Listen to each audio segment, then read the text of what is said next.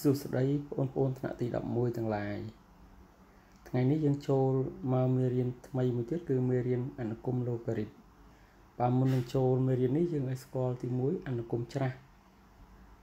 បាទអនុគមច្រាស់បាទចំណងជើងរងទី1គឺអឺសញ្ញានៃអនុគមច្រាស់បើយើងមើលយើងមានអនុគម2អនុគម f នៃ x1 ដែលស្មើនឹងពី x បូក2និងអនុគម z នៃ x1 ដែលស្មើនឹង x លើ2ដក1បាទឥឡូវយើងគណនាតម្លៃនៃអនុគមទាំងពីរនេះបើយើងឲ្យ x ស្មើ1 x ស្មើ2និង x ស្មើ3អញ្ចឹងបើ x ស្មើ1យើងបាន f នៃ1នេះយើងយើងចំនួន x ហ្នឹងដោយលេខ1ចូលក្នុង f នៃ x នេះចំនួន x ហ្នឹងដោយលេខ1មក2គុណនឹង1បាន2 2បូក2បាន4អញ្ចឹងណាបាទអញ្ចឹងយើងបានអី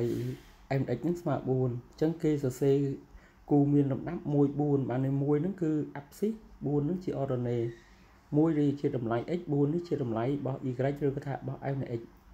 ដូចគ្នាដែរបើយើងឲ្យ x ស្មើ2យើងចំនួនដូចទៅគូចំនួនឲ្យអំបញ្ញមិញទៅយើងបាន f x ហ្នឹងស្មើ6អញ្ចឹងយើងបានគូមានលំដាប់2 6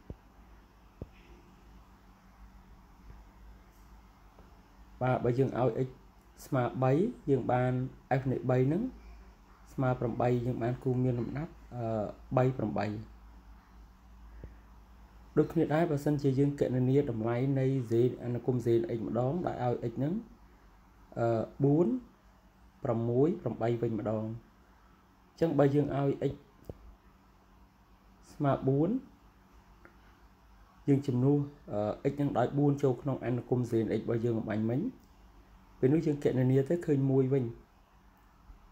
បើចឹងយើងសរសេរគូមានលំដាប់4 1បើបើយើងឲ្យ x ស្មើ6យើងបាន z នៃ6នេះហើយស្មើ2យើងចំនួនចូលដូចគ្នាយើងបានគូមានលំដាប់6 2បើយើងឲ្យ x ស្មើ8យើងបានអឺនេះនេះ z ណាបងណានេះ z មែន f ទេយើងទាញបាន z នៃ8ស្មើ3អញ្ចឹងយើងបានគូមានលំដាប់8 3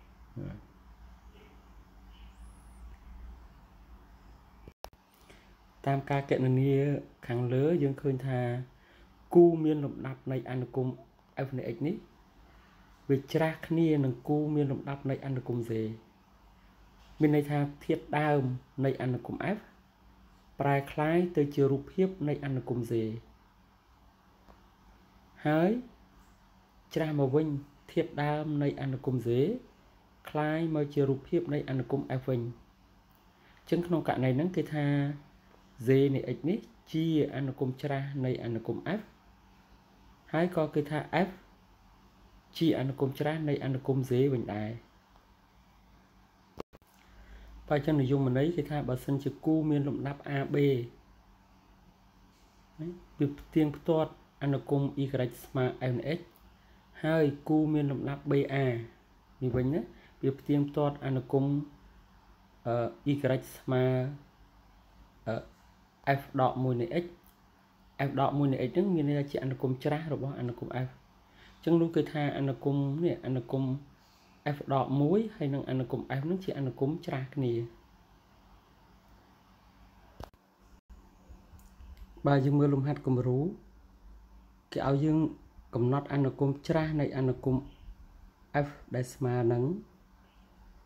1លើ x បូក2និង z នៃ x ដែលស្មើនឹង x ការ៉េអានឹងករណីដែល x នឹងធំជាងឬស្មើ0អានឹងចំពោះ z នៃ x ស្មើ x ការ៉េណាគឺលក្ខខណ្ឌ x ធំជាងឬស្មើ0បាត់ទី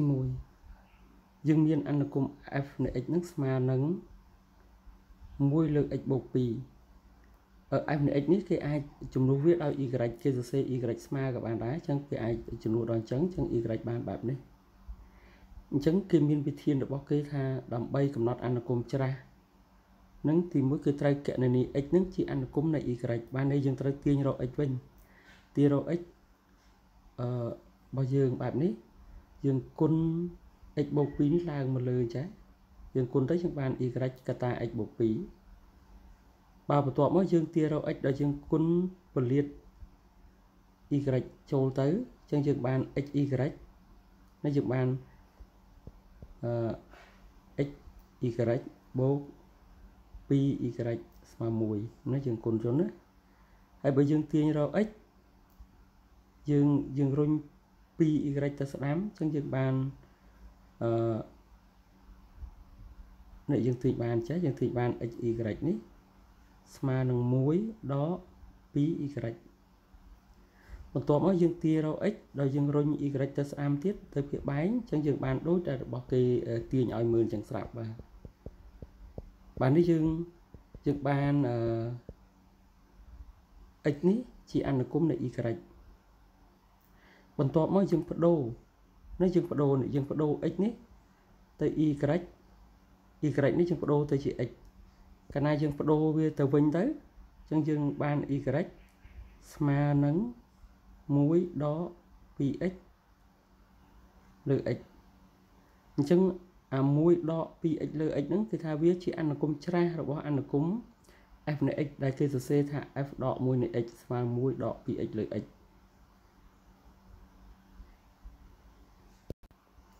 បើដូចគ្នាដែរចំពោះអនុគម z នៃ x ដែលស្មើនឹង x ការ៉េ អញ្ចឹងយើងអាចសរសេរ z នៃ x នេះយើងដូរ z នៃ x នេះដូរទៅជា y អញ្ចឹងយើងបាន y ស្មើ x ការ៉េបាទបាទបន្ទាប់មកយើងទាញរក x បើយើងទាញរក x x នេះស្មើនឹងបូកឬដកឬការ៉េនៃ y តែដោយសារ x លក្ខខណ្ឌ x វិជ្ជមានអញ្ចឹងយើងយកតែ x នឹងស្មើនឹងឬការ៉េនៃ y ដូចគ្នាដែរកន្លែងនេះបើយើងបដូរបាទយើងបដូរ x ជា y និង y ជា x អញ្ចឹងយើងបាន y ស្មើឬឬ x អញ្ចឹង y ស្មើឬ x នេះជាអនុគមច្រាស់របស់ y ស្មើ x ការ៉េដែលគេសរសេរថា z ដក1នៃ x ស្មើឬឬ x នេះដែលជាអនុគមច្រាស់របស់ z នៃ x ដែលស្មើនឹង x ការ៉េបាទ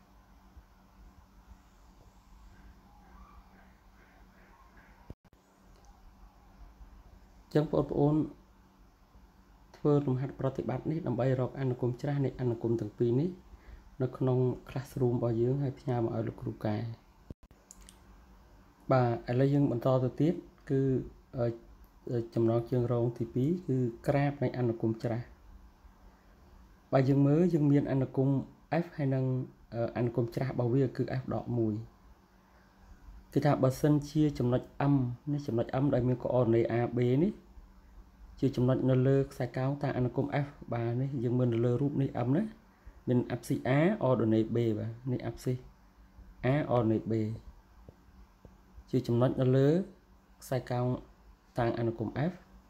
ហើយនឹងចំណុច M' នេះណា M' មាន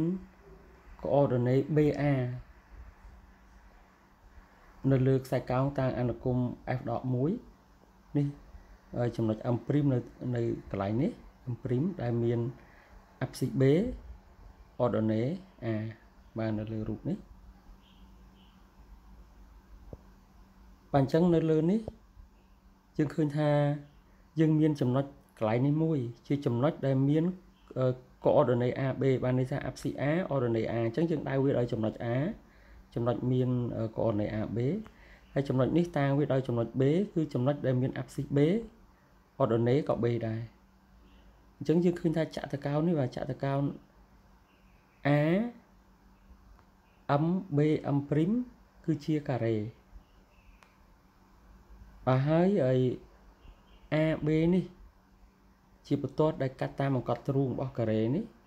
វាមានសមីការ y ស្មើ x បន្ទាត់បែបនេះ បាទបន្ទាត់នេះដោយសារវាកាត់តាមចំណុចដែលមាន abscis ហើយ ordinate ស្មើគ្នាចឹងយើងសង្កេតឃើញថាចំណុច M ដែលមានកអនៃចំណុច M នេះនៅកន្លែងនេះដែលមានកអនៃ AB ហើយចំណុច M' ដែលមានកអនៃ BA នេះវាឆ្លោះគ្នាធៀបទៅនឹងបន្ទាត់ x x y បន្ទាត់ y ស្មើ x បានន័យថាបន្ទាត់ AB ដោយសារចំណុច M ណាដោយសារចំណុច M ជាចំណុចនៅលើខ្សែកោងតាំងអនុគម F ហើយចំណុច M' ជាចំណុចនៅលើខ្សែកោងតាំងអនុគម f ដក1អញ្ចឹងគេសន្និដ្ឋានថាខ្សែកោងតាំងអនុគម f និងខ្សែកោងតាំងអនុគម f ដក1វាឆ្លោះគ្នាធៀបទៅនឹងបន្ទាត់ y ស្មើ x បើអញ្ចឹងជាទូទៅ គឺថាបើអនុគម2ច្រាស់គ្នានោះ ខ្សែកោងតាអនុគមទាំងពីរឆ្លោះគ្នាធៀបនឹងបន្ទាត់ y ស្មើ x បាទតោះយើងទៅមើលលំហាត់គំរូទី1គេឲ្យអនុគម mx ស្មើឬ x ទី1គេឲ្យយើងរកអនុគមច្រាស់នៃអនុគម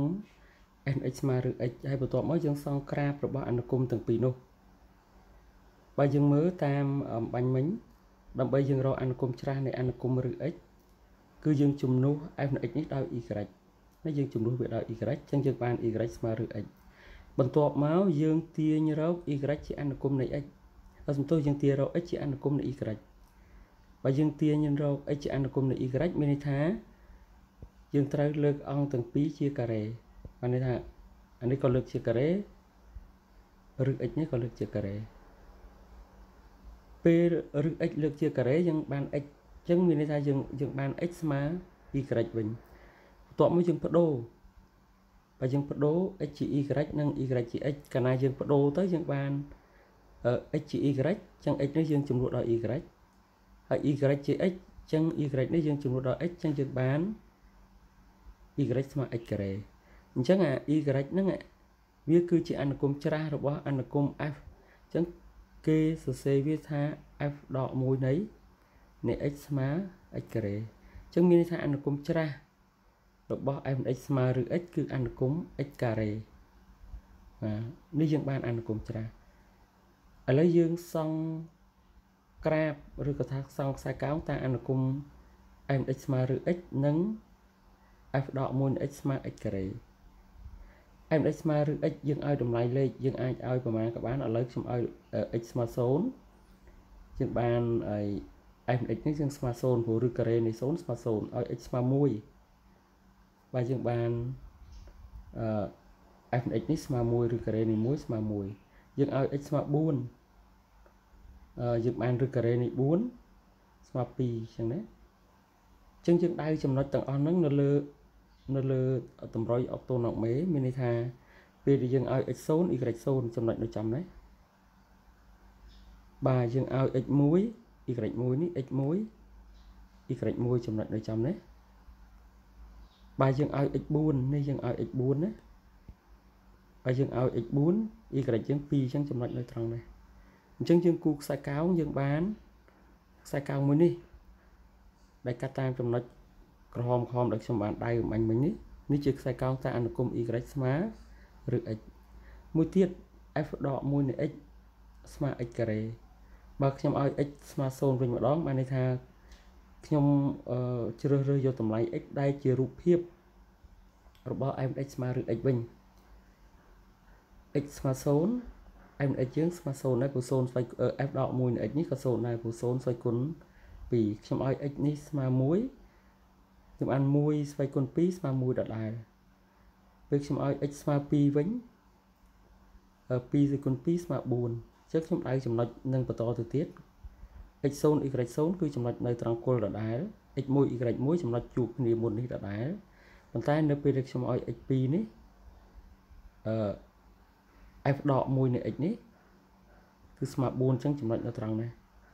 អញ្ចឹងខ្ញុំគូខ្សែកោងកាត់តាមចំណុចទាំង3ក្រោយនេះវិញគឺខ្សែកោងឡើងមកចេះវិញបាទបាទអញ្ចឹងខ្សែកោងក្រោយនេះនេះជាខ្សែកោងតាមអនុគម f ដក1នៃ x ស្មើ x ការ៉េអញ្ចឹងជាសង្កេតឃើញថាខ្សែកោងទាំងពីរនេះ គឺឆ្លោះគ្នាធៀបទៅនឹងបន្ទាត់ y ស្មើ y ស្មើ x បាទដូចគ្នាដែរបងប្អូនអីសាកល្បងមើលលំហាត់គំរូទី2ដោយខ្លួនឯងនៅលំហាត់គំរូទី2នេះដោយខ្លួនឯងបន្ទាប់មកយើងដោះស្រាយប្រតិបត្តិ នេះដែលលោកគ្រូដាក់ឲ្យនៅក្នុង classroom របស់យើង